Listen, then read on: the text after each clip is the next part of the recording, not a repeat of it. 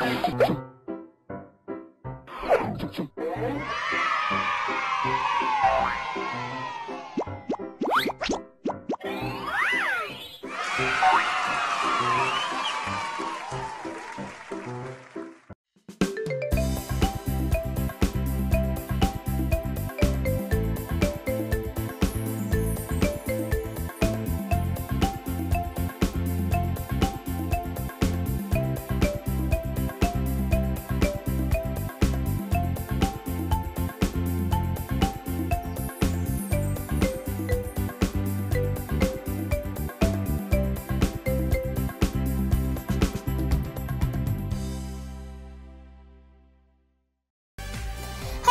teman-teman semua, yuk kita belajar hari ini dengan menggerakkan tubuh kita.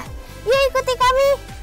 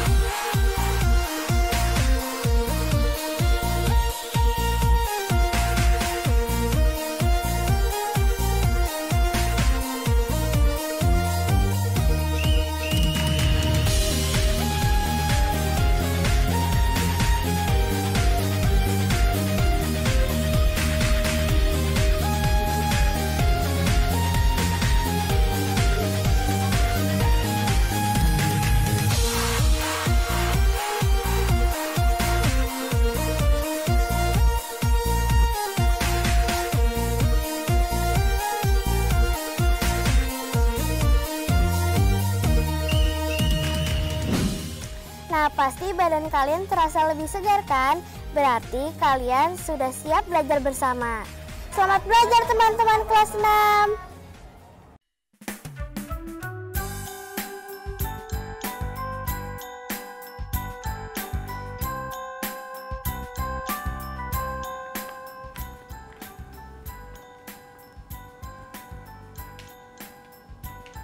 Kak, ada lakban nggak? Bentar, kakak cari dulu ya.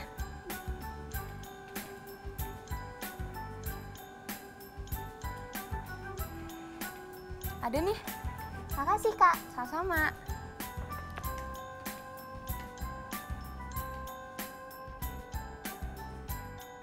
Eh, teman-teman udah di sini.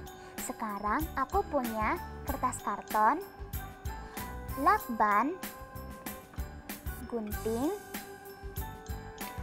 dan spidol warna-warni. Aku mau bikin poster tentang isu pemanasan global dan perubahan iklim. Nanti kita akan lihat pidatonya Greta Thunberg. Ia adalah aktivis lingkungan muda asal Swedia.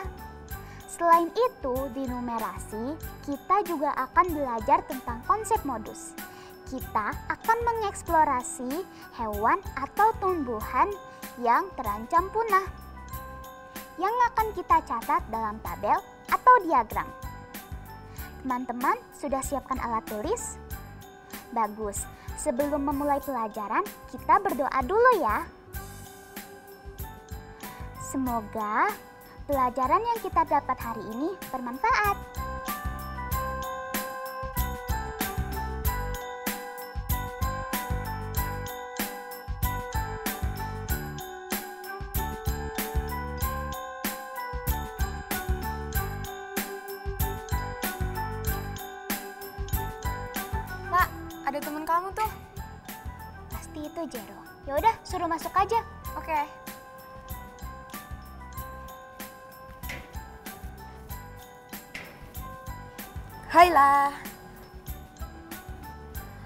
Ajarin aku tentang materi numerasi yang kemarin dong. Boleh kok, tapi nanti ya. Aku lagi bikin poster. Kamu nggak buru-buru kan? Enggak kok.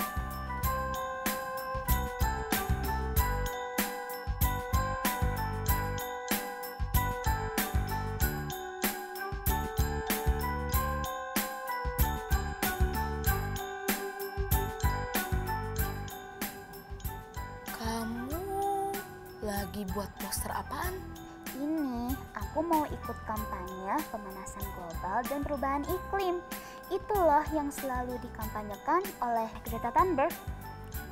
Greta Thunberg. Siapa dia? Greta Thunberg adalah aktivis lingkungan hidup asal Swedia. Dia lahir tanggal 3 Januari 2003. Wah, masih muda sekali ya dia.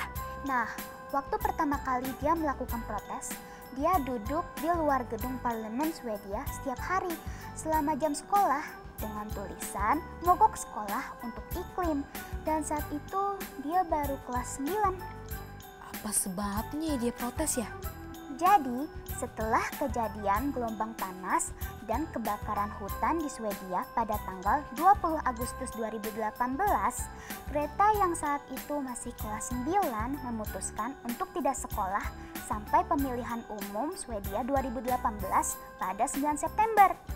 Setelah kejadian itu, ia menginspirasi lebih dari 20.000 siswa sekolah di 270 kota di seluruh dunia untuk ambil bagian dalam pemogokan siswa. Sebentar ya, aku mau buka pidatonya di PBB saat konferensi perubahan iklim di 2018. Teman-teman, coba perhatikan. Ini adalah teks dari pidato Greta Thunberg. Di dalam pidatonya, Greta Thunberg bilang, seharusnya saya tidak berada di panggung ini. Seharusnya saya sedang bersekolah. Tetapi Anda semua mendatangi kami para generasi muda untuk menitipkan harapan. Anda semua telah mencuri impian dan masa kecil saya dengan omong kosong. Meskipun demikian, saya masih menganggap diri saya beruntung. Ada banyak orang di luar sana yang menderita dan sekarang. Seluruh ekosistem kita mulai runtuh. Kita berada di ambang kepunahan, tetapi Anda terus saja mengoceh tentang uang dan dongeng tentang pertumbuhan ekonomi. Berani-beraninya Anda. Selama lebih dari 30 tahun, ilmu pengetahuan sudah menunjukkan bukti-bukti dengan jelas. Berani-beraninya Anda membuang muka lalu datang kemari dan mengatakan bahwa Anda sudah melakukan cukup usaha. Padahal jelas-jelas belum ada kebijakan politik dan jalan keluar untuk memperbaiki keadaan ini. Anda bilang Anda mendengarkan keluhan kami dan memahami gentingnya situasi ini. Meski sangat sedih dan marah, saya menolak mempercayai itu. Karena jika Anda benar-benar memahami situasi ini tetapi masih belum mengambil tindakan nyata, berarti Anda semua orang jahat. Saya menolak berpikir bahwa Anda adalah orang jahat. Penelitian mengatakan bahwa mengurangi separuh emisi dalam 10 tahun hanya akan memberi bumi 50% kesempatan untuk mendingin 1,5 derajat Celcius saja. Dengan begitu, kita bisa menghentikan keadaan fatal yang berada di luar kendali manusia. Anda mungkin bisa menerima angka 50%, tetapi kami tidak. Kamilah yang harus menanggung akibatnya. Generasi kamilah yang akan menghirup ratusan juta ton karbon dioksida di udara. Bahkan hingga kini belum ada teknologi yang memastikan keselamatan kami. Berani-beraninya Anda berpura-pura bahwa masalah ini bisa diselesaikan jika kita terus hidup seperti biasa dan menciptakan teknologi yang canggih. Dengan tingkat emisi saat ini, semua karbon dioksida itu baru akan hilang dalam delapan setengah tahun. Tidak akan ada jalan keluar dari masalah ini. Namun, ternyata Anda semua masih belum cukup dewasa untuk menyampaikan kenyataan itu apa adanya. Anda semua mengecewakan kami. Kami, anak-anak muda, bisa mencium pengkhianatan Anda. Mata seluruh generasi masa depan terpaku pada Anda. Jika Anda gagal melakukan sesuatu, kami tidak akan pernah memaafkan Anda. Kami tidak akan membiarkan Anda lolos begitu saja. Saat ini, di tempat ini, kami akan menentukan batasan. Seisi dunia mulai tersadar dan suka atau tidak perubahan itu telah dimulai. Terima kasih. Wah, keren ya. Apa yang menyebabkan Greta melakukan unjuk rasa di depan gedung parlemen Swedia ya? Coba deh lihat paragraf ini. Greta menjelaskan bahwa penelitian mengatakan bahwa mengurangi separuh emisi dalam 10 tahun hanya akan memberi bumi 50% kesempatan untuk mendingin 1,5 derajat Celcius saja. Tetapi dia juga menegaskan bahwa tak bisa menerima angka 50%. Sebab generasi mudahlah yang akan menanggung akibatnya dengan menghirup ratusan juta ton karbon dioksida di udara. Karena hal inilah dia tergerak untuk melakukan sesuatu untuk memulai perubahan. Oh, begitu ya. Nah, semenjak saat itu, setiap hari Jumat dia melakukan aksi mogok sekolah bersama siswa yang lainnya. Ya demi mendesak pemerintah untuk melakukan perubahan biar iklim menjadi lebih baik. Tapi Tapi kenapa? sejak COVID-19 melanda dan aksi berkerumunan dilarang, ia tidak lagi turun ke jalan, melainkan secara berkala. Ia memposting aksinya ke sosial media. Makanya aku bikin poster kampanye perubahan iklim. Lalu aku posting deh ke sosial media. Ya, sebagai bentuk dukunganku. Wah, kalau begitu aku boleh ikutan dong. Boleh dong, kamu bantu aku bikin poster ya. Oke.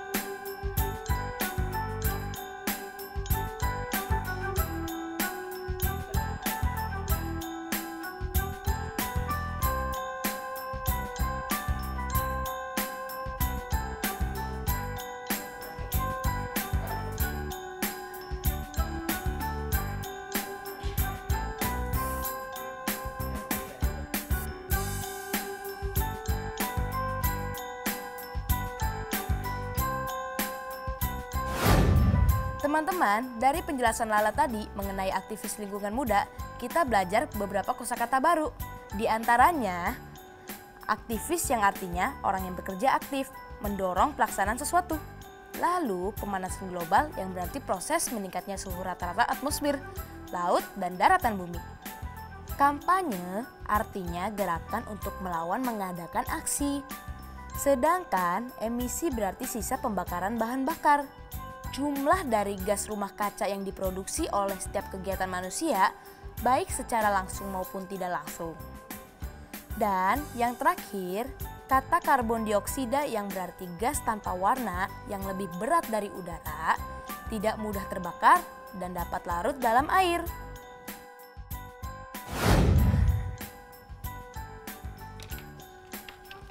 Jadi deh.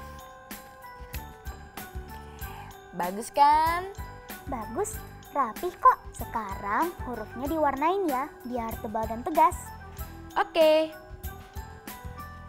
Kalimat posternya selain ini boleh yang lain kan? Boleh kok, asal mengkampanyekannya perubahan iklim yang lebih baik. Nih contohnya, aku aku bikin hentikan pemakaian plastik seperti pidato Melati dan Isabel Wiesen yang mengkampanyekan gerakan Bye Bye Plastic Bag sejak tahun 2013. Kamu masih ingat kan yang kemarin aku ceritain? Iya, ingat. Dua-duanya sama-sama mengkampanyekan untuk perubahan iklim yang lebih baik. Benar. Bedanya kalau Greta ia memfokuskan pada tuntutannya terhadap pemerintah yang dianggap tidak peduli dengan iklim yang memburuk. Sedangkan Melati dan Isabel mereka memfokuskan pada gerakan meminimalisir penggunaan plastik sekali pakai.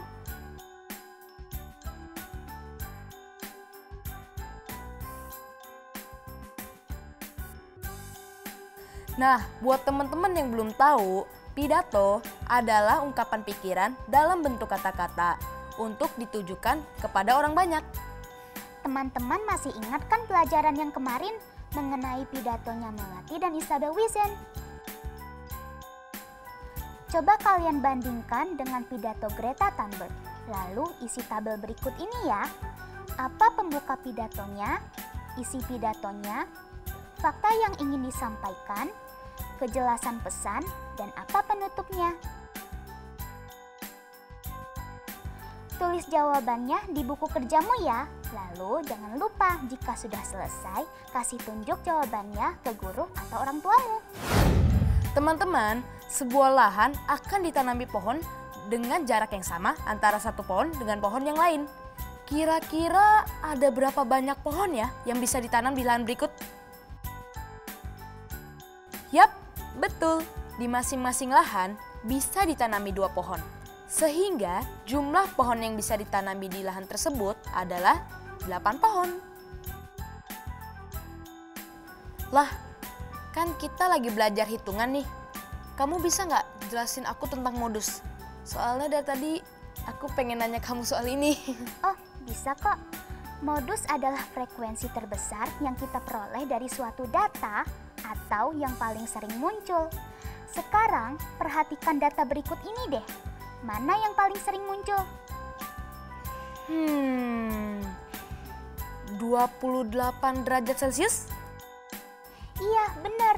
Modus dari data suhu harian ini adalah 28 derajat Celcius, sebab muncul paling banyak. Bagaimana dengan data yang ini? Kalau dari data ini, modusnya adalah pohon pisang. Sebabnya jumlahnya lebih banyak dibandingkan pohon yang lain. Nah, tepat sekali. Yang mempunyai frekuensi yang paling besar adalah pohon pisang, sebanyak 7 pohon. Nah, gimana? Sekarang sudah paham kan cara menentukan modus? Ternyata gampang ya.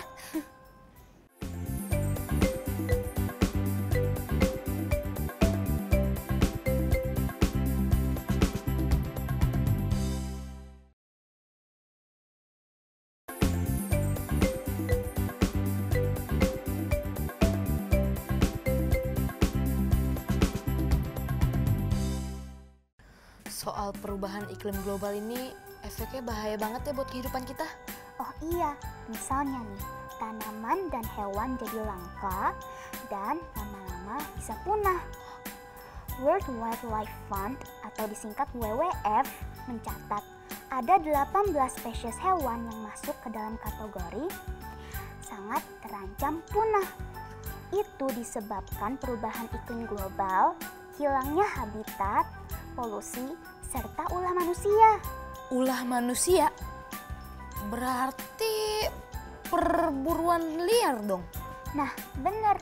Salah satu upaya untuk mencegah perburuan liar, makanya pemerintah membangun kawasan Suaka Marga Satwa. Apakah Suaka Marga Satwa sama dengan kebun binatang? Beda.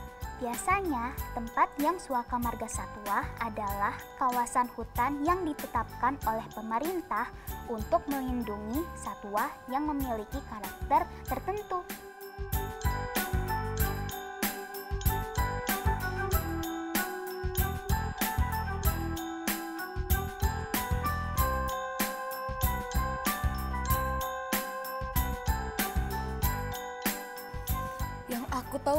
Kalau di Bali ada Taman Nasional Bali Barat. Itu termasuk Suaka Marga Satwa nggak ya? Iya, termasuk. Itu tamannya luas banget.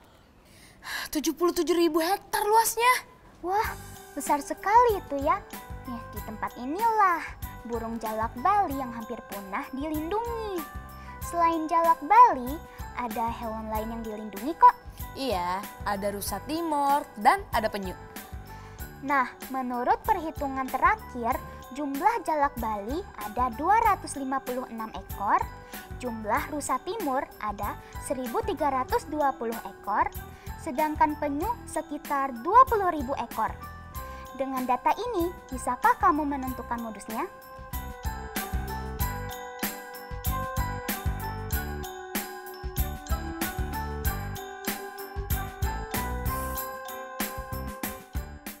Bisa dong. Modus dari data tersebut adalah penyu. Betul kan? Betul sekali. Nah, sekarang giliran teman-teman di rumah ya. Kalian kerjakan cari hewan atau tanaman yang sudah langka di daerahmu. Beserta jumlahnya ya. Kalau sudah selesai, masukkan dalam data. Dari data ini, tentukan modusnya.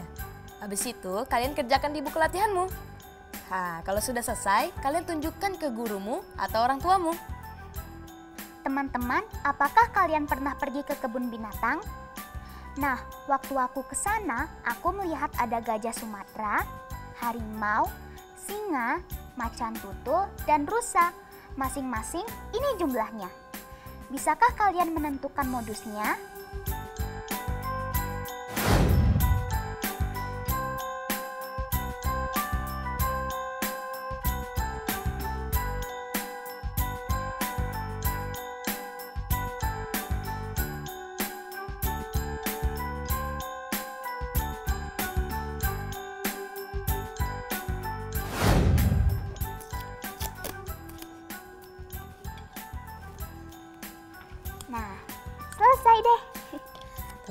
Lagi juga udah mau selesai nih.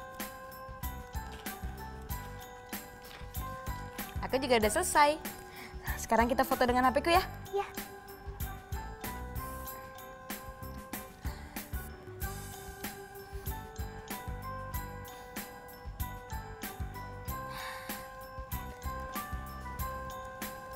Teman-teman, terima kasih ya sudah menemani aku dan Jero belajar dan membuat poster ini. Hari ini kita belajar mengenai aktivis lingkungan. Ada Greta Thunberg, ada Melati, dan Isabel Wilson. Kita mempelajari pidato mereka yang mengenai lingkungan hidup. Oh iya, di numerasi kalian sudah belajar tentang modus kan? Kalian sudah paham kan? Besok kita ketemu lagi ya teman-teman. Yuk Jero, kita posting. Yuk,